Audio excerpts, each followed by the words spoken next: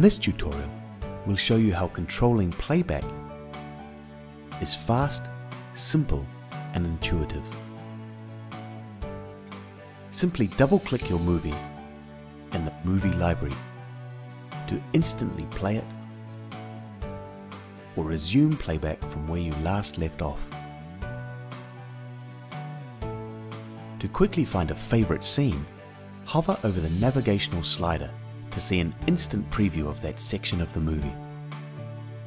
You can also hit the right and left arrow keys to jump forward 30 seconds or backward 8 seconds.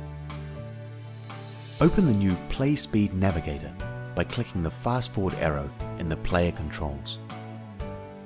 The Play Speed Navigator makes it easy to switch to fast or slow motion playback.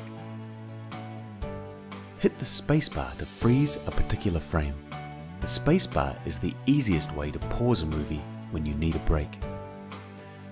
Use the zoom slider in the player controls to crop in close on just part of the video frame.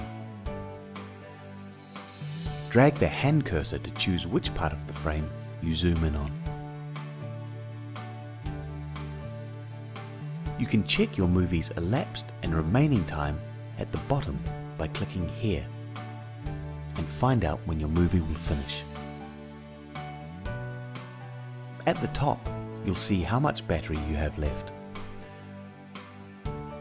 Double click on a movie file in Windows Explorer to instantly play your movie directly to full screen. When you park the mouse on either side of the screen, instantly hides all the navigation controls. If you like to watch movies while working, click the Restore window icon here. Drag the window by holding down the mouse anywhere within the frame.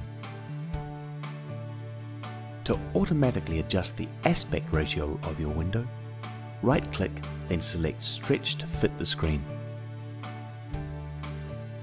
You can also select Always on top to always have your movie on top of other applications.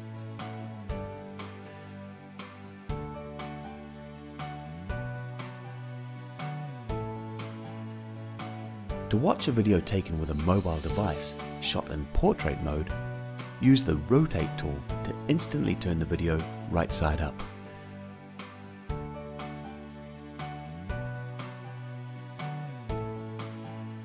Controlling playback is fast, simple and intuitive.